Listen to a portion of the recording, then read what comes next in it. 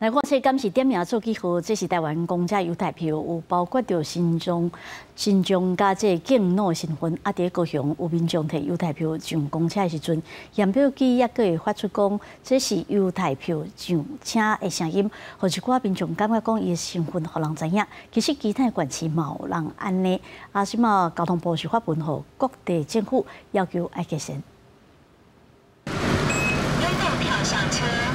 新疆朋友也是六十五岁以上的长辈，摕破爱卡也是经乐卡上高雄市公车的时阵，验票的机器就会发出安尼的声音。但有民众对安尼系统感觉有淡薄仔压力，敢若伫专车乘客面头前方公布特殊的身份。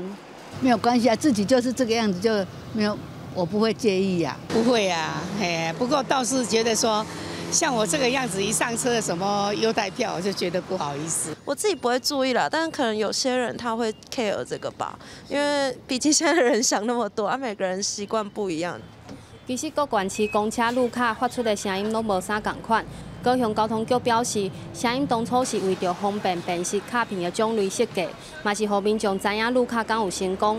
毋过四月中交通部有新闻和各县市政府，希望改善系统，卖有身份的差别。将来也会透过我们的一个计划案来执行，把这个声音把它做一个统一。初步的想法也是说，是不是就是诶刷卡上车，就这样子，就是让辨识说，诶刷卡是成功的。交通局表示，考虑到优待票民众的感受，拄好今年要推动验票机器的更新，大约会伫十月完成所有的更新。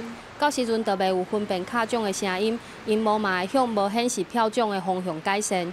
记者陈焕武、陈显坤高雄报道。